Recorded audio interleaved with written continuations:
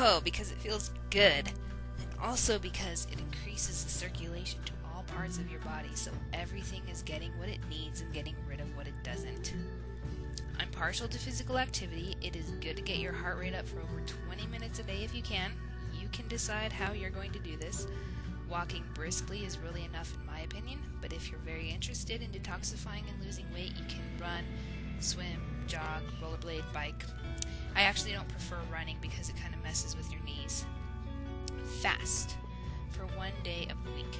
This is going to be hard if you're not used to it, but giving your body and digestive system a day of rest is enormously beneficial. When you fast, your digestive system doesn't have to work, so your enzymes can get to work repairing other areas of your body that need help. This is a way to get rid of inflammation and just general soreness and problems.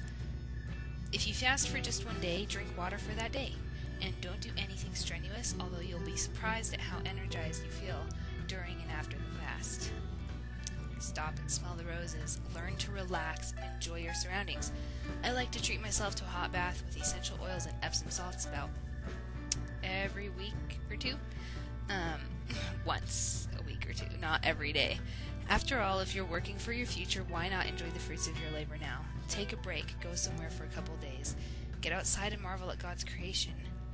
I can't stress this enough. I mean, relaxation is key. So, hook it up, yo. Alright, bye.